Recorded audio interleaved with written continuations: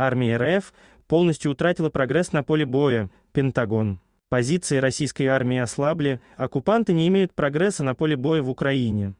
Об этом сообщает РБК Украина со ссылкой на закрытый брифинг в Пентагоне. Высокопоставленный чиновник Пентагона отметил, что россияне несут большие потери и не могут продвигаться вперед.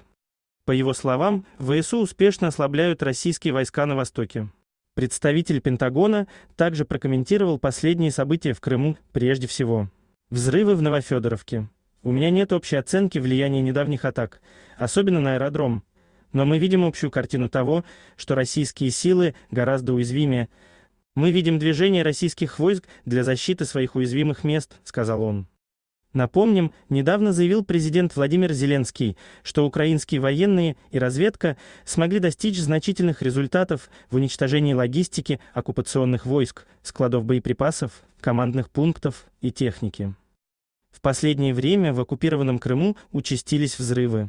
Чего стоит инцидент на авиабазе в Саках, где россияне потеряли по меньшей мере 9 самолетов, а еще взрывы под Джанкаем в Керчи и возле Севастополя.